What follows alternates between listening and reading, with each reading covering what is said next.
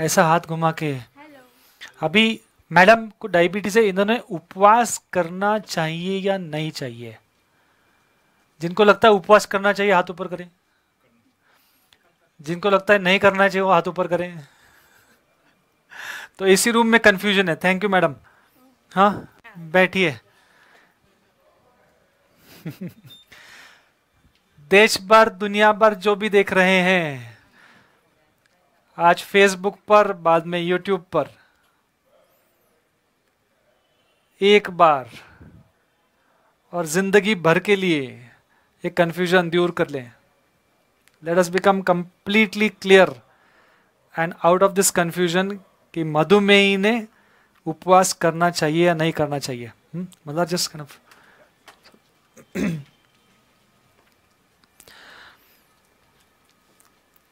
मधुमेही आज तक क्या सुनते आए हैं? दो दो घंटे के बाद खाओ। थोड़ा थोड़ा खाओ। यस और नो क्यों?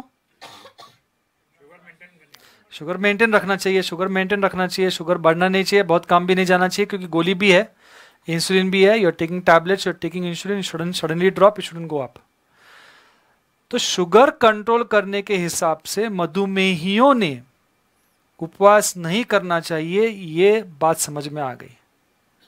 इट्स सिंपल क्लियर ठीक है? शुगर बढ़ना नहीं चाहिए, कम भी होना नहीं चाहिए, दवाई चालू है। तो शुगर कंट्रोल के लिए आप फास्टिंग मत कीजिए। Very clear very logical and recommended thing by most doctors internationally also कोई भी गलत सलाह नहीं है। वो हिसाब से, वो एंगल से वो सलाह सही है। लेकिन हमारे पास जो मधुमेही है, आप सब बैठे हैं यहाँ पर और हमको बताया गया था डेढ़ सौ लोग ऑनलाइन है अभी 150 पीपल हमें शुगर कंट्रोल में इंटरेस्ट नहीं है। हमको तो गाड़ी रिवर्स करनी है। हमको गाड़ी ऐसे रिवर्स करनी है कि शुगर भी जाए और उसके बाद गोली भी जाए और इंसुलिन भी जाए।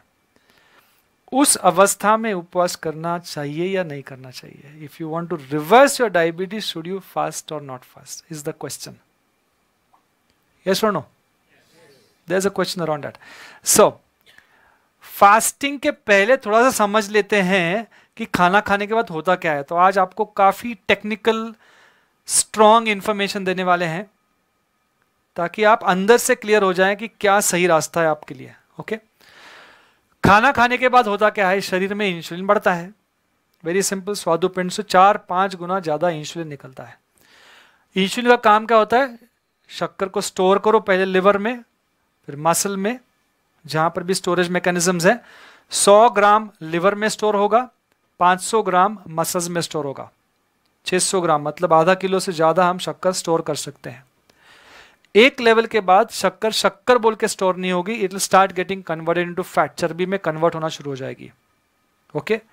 और फिर इंसुलिन का काम वहाँ पे एक्सटेंड होगा, वो प्रोड्यूस फैट करवाएगा लिवर में और स्टोर भी करवाएगा। इंसुलिन का काम है चर्बी, पानी और शक्कर तीनों को पकड़ के रखे। It's a growth hormone body को ग्रो कराता है।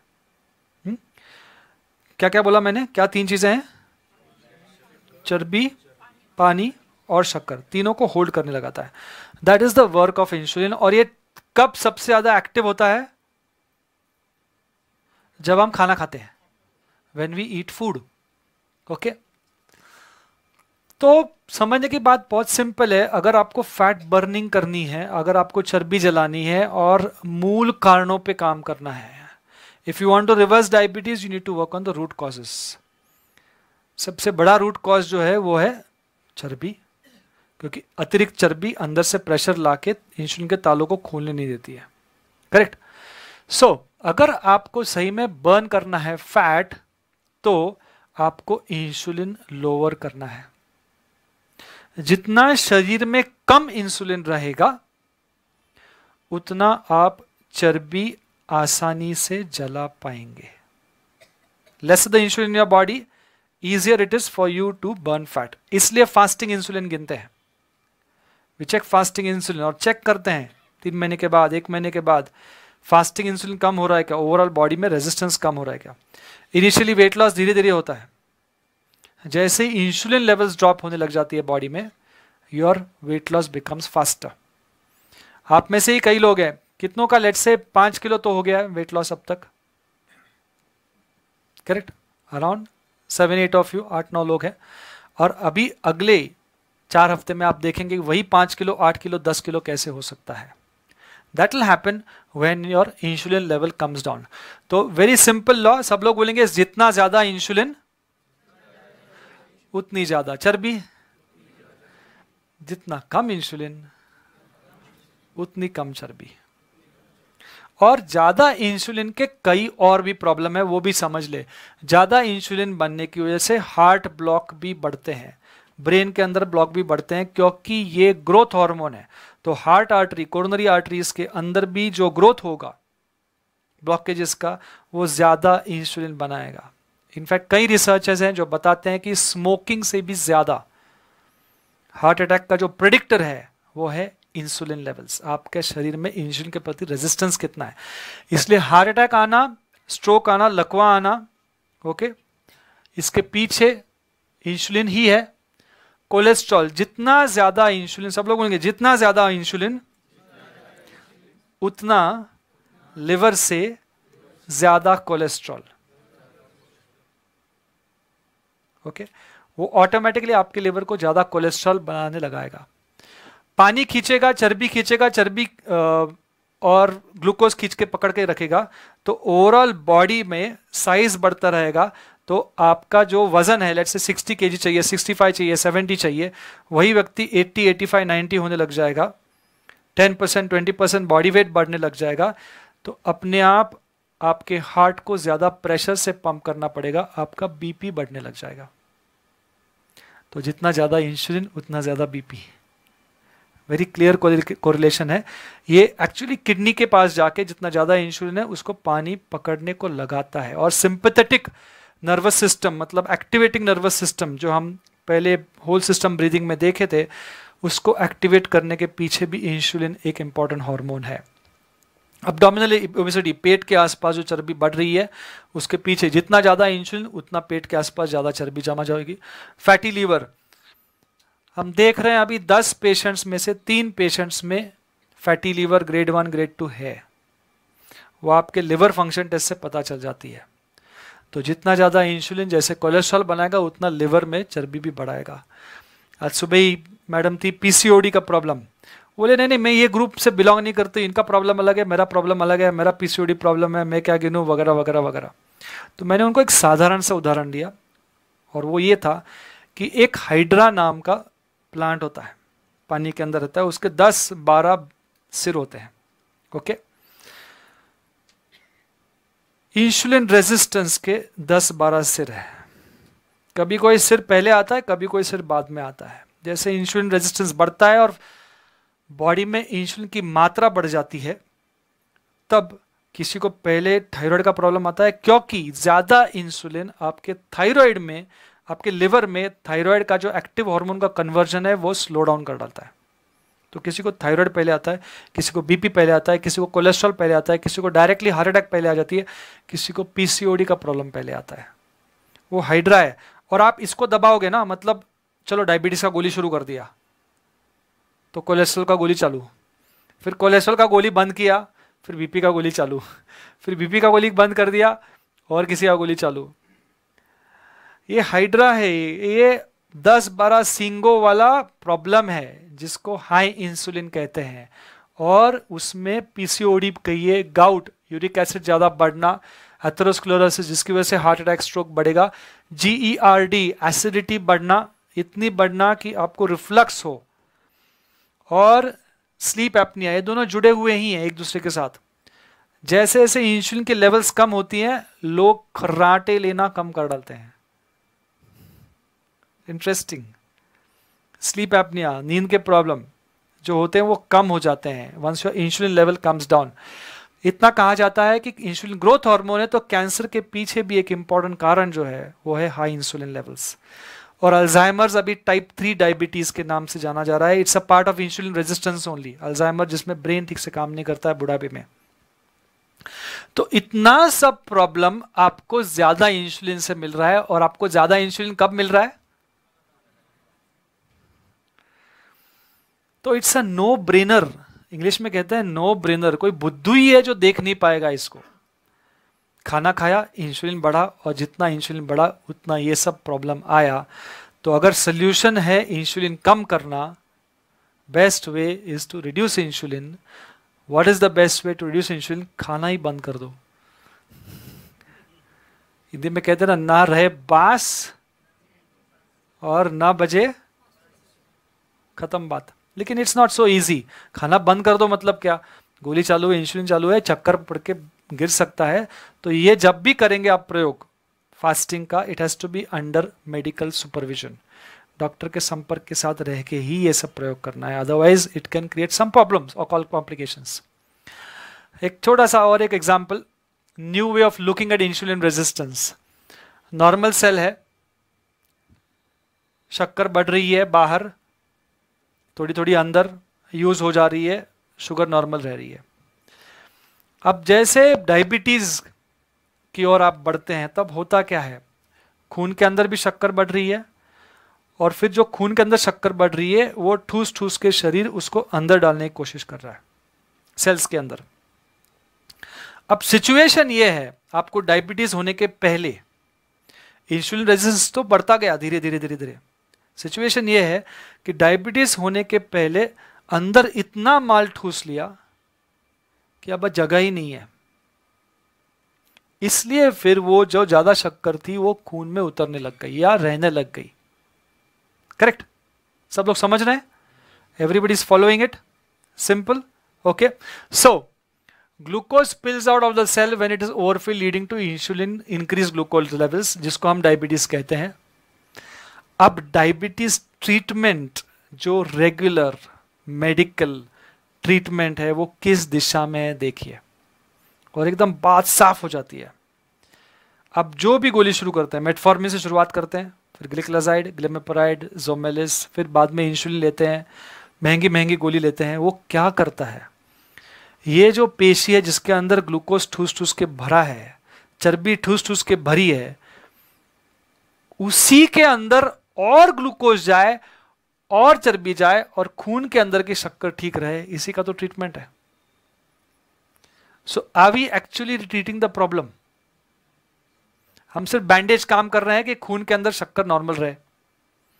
लेवल अच्छा है एच सेवन के अंदर आए लेकिन जो इंसुलिन रेजिस्टेंस का प्रॉब्लम है, वो बढ़ते ही जाता है, बढ़ते ही जाता है। इसलिए एक के बाद एक गोली, एक के बाद एक गोली एक के बाद एक बीमारी, एक के बाद एक बीमारी, ये बढ़ते ही जाता है। ये प्रॉब्लम रिवर्स नहीं हो पाता है क्योंकि ऑलरेडी शक्कर और चर्बी ठूस ठूस के भरी है। ट्रीटमेंट एक्स्ट्रा गोली नहीं है जिससे आप और माल को अंदर ठूसेंगे। ट्रीटमेंट है जो अंदर भरा हुआ है, उसको बाहर निकालो। उसको निकलने दो। और उसको निकलने के लिए क्या उपाय है? क्या? उपवास करो। खाना बंद करो, कम करो धीरे धीरे आपको जैसा हो सके वैसा करो, ताकि आपका शरीर एक्चुअली अंदर से ठीक होने लग जाए। सब लोग समझ रहे हैं? Yes very nice very good तो जब नेचुरल लिमिट बढ़ जाता है तो एक्स्ट्रा इंसुलिन भी आपको शुगर नहीं डालने देता है। यहाँ पे कितनों का इंसुलिन बंद हो गया है? How many of you stopped insulin हो गया external insulin one two three four five six six of you stopped insulin कैसे बंद हो आपका इंसुलिन बाहर का? खाने में कम किया और उसमें कुछ कुछ बदलाव किया। आईजीएफ मॉलिक्यूल बाहर से निकाला, जो मिल्क और मिल्क प्रोडक्ट से आता है। चर्बी थोड़ा कम किया एसिड कम किया, सूजन कम की, जो हम सब बता रहे हैं अल्कलिनिटी लाई और आपका जो ठूसने का प्रोग्राम था, वो कम करना पड़ा, क्योंकि रेजिस्टेंस आपका कम होने लग गया था। So real treatment is treat insulin resistance and high insulin levels so obvious solution no brainer बच्चा भी देख सकता है it's fasting toxic glucose overload हटाओ। सबसे पहले उसके लिए जो बाहर से ज़्यादा शुगर डाल रहे हो, वो कम करो। लो कार्बोहाइड्रेट डाइट जो तीन तीन रोटी और एक कटोरी सब्ज़ी खाते हो, उसकी जगह पे एक रोटी, एक कटोरी दाल, एक कटोरी सब्ज़ी, एक कटोरी सलाद लो। और भूख है तो आधा रोटी लो, और आधा कटोरी दाल, सब्ज़ी सलाद लो। थोड़ा सा अनाज कम करो, क्योंकि अनाज के अंदर 80 परसेंट शुगर है। थोड़ा दाल, सब्ज़ी सलाद बढ़ाओ, ओके? और दूसरा, जो एक्सेस ग्लूकोज भरा हुआ है, उसको बर्न ऑफ़ करने दो, इसलिए फास्टिंग करो ओके बहुत सारे मधुमेही फास्टिंग से डरते हैं।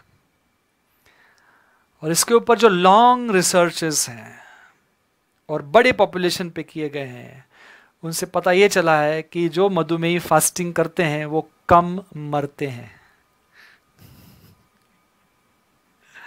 सारे वर्ल्ड वॉर्स में आप देखिए उन्होंने बड़े पॉपुलेशंस का फॉलोअप रखा और जाना कि डायबिटीज़ और उसके कॉम्प्लिकेशंस की वजह से हार्ट अटैक की वजह से, वगैरह वगैरह, जो भी लोग मरते हैं, वो कम हुआ, बढ़ा नहीं। उपवास से आयु बढ़ती है, कम नहीं होती और हम भारतीय हम ये जानते हैं, पुराने जमाने से जानते हैं। प्रॉब्लम एक ही है कि अभी उपवास का रूप बदल गया है। उपवास इज़ लाइक मेजवानी, साबुदाना, खिचड़ी और क्या क्या महाराष्ट्र में अलग अलग आइटम कहीं तो शीरा भी बनता है आलू का शीरा और रतालू का कुछ कुछ चलता है ना लोग उल्टा ज़्यादा भगर खाते हैं रिफाइंड है मिलेट भगर जो होती है।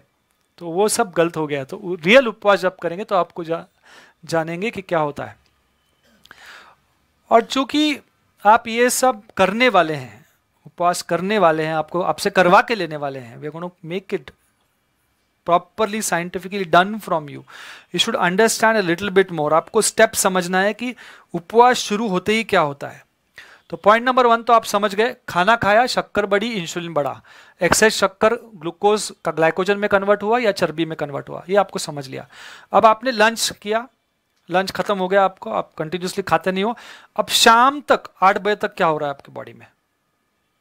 एक बजे खाना खाया आठ बजे तक क्या हो रहा है? फॉर एग्ज़ाम्पल ओके उसके बाद पोस्ट ऑब्जॉर्प्टिव फ़ेज़ शुरू होता है, जो छह घंटे, चौबीस घंटे तक रहता है। एक बार फास्टिंग शुरू हो गया। लंच खत्म हुआ फास्टिंग शुरू हो गया। डिनर खत्म हुआ फास्टिंग शुरू हो गया। रोज उपवास कर रहा है आदमी।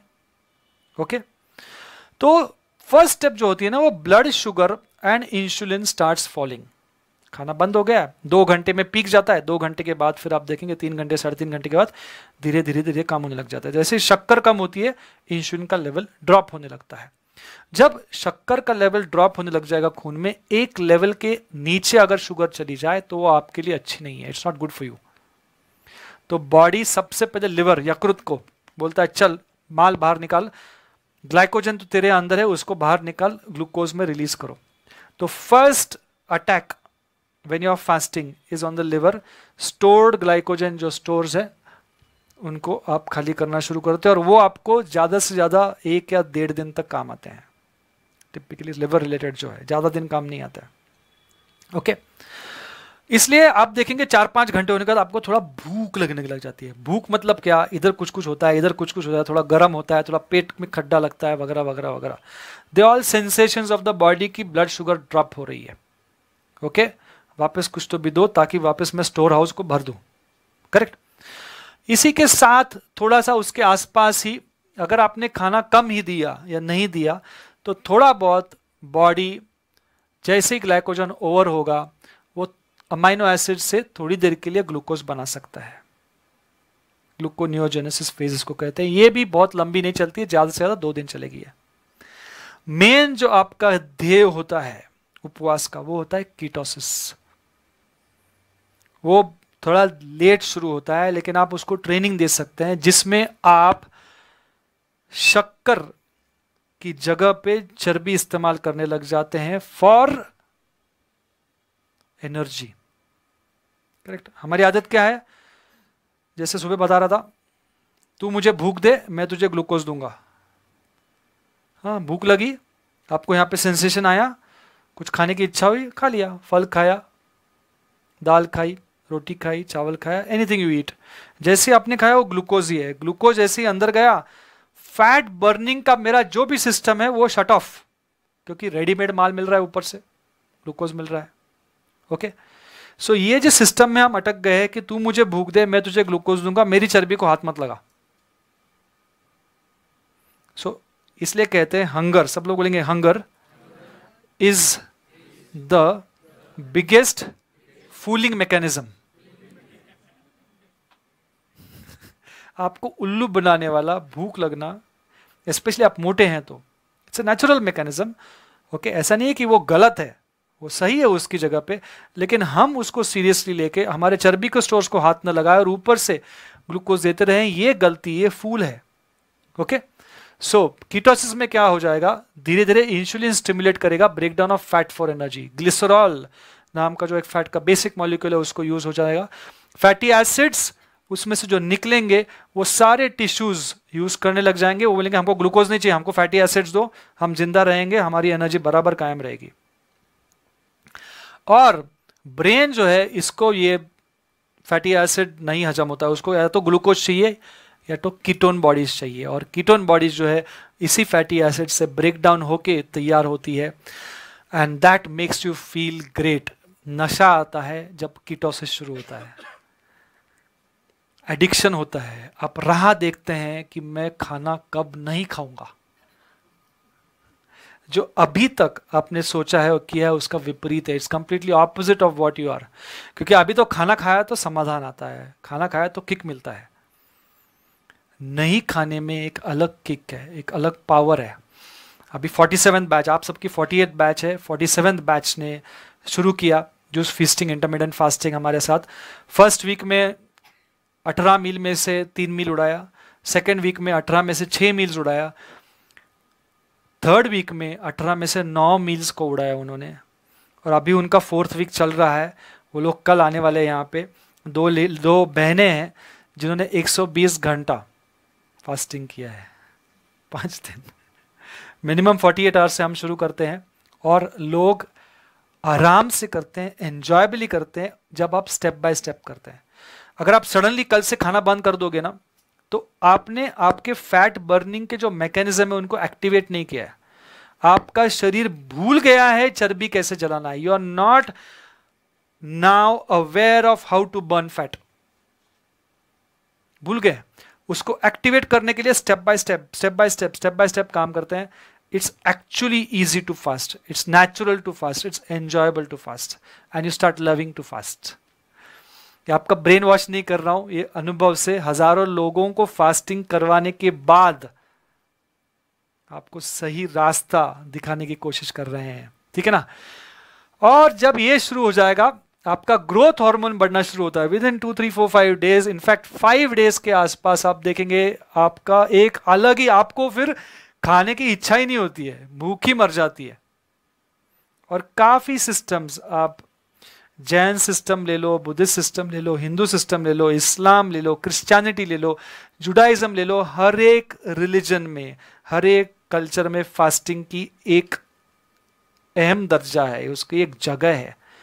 और वो इसलिए क्योंकि वो हेल्दी है, आपको हेल्थ देता है। दो दिन के अंदर पाँच गुना आपका ग्रोथ हार्मोन बढ़ जाता है, जो मसल मास को मेंटेन रखता है, लीन टिश्यू को मेंटेन रखता है, एनर्जी कीटोन से आएगा ब्लड ग्लूकोज ग्लिसरॉल से मेंटेन होगा। एड्रेनलिन नाम का और एक हार्मोन बढ़ेगा जो मेटाबॉलिक रेट मेंटेन करेगा और आपको एनर्जी फील होगी। इनफैक्ट आप ज़्यादा काम करेंगे।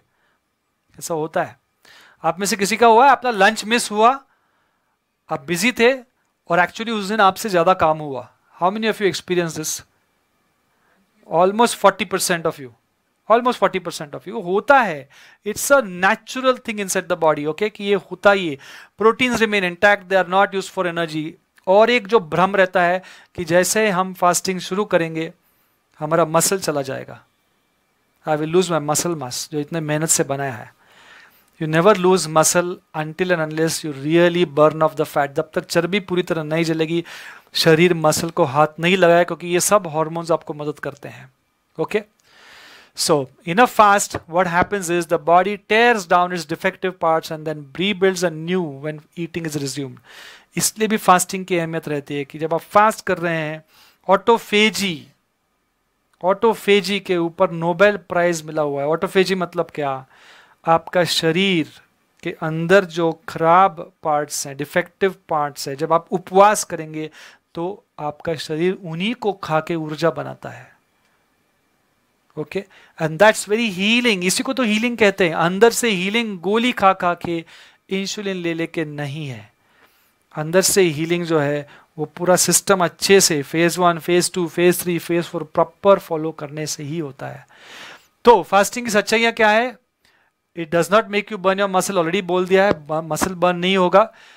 फास्टिंग के बाद ओवर ईटिंग होगा, बिल्कुल नहीं होगा।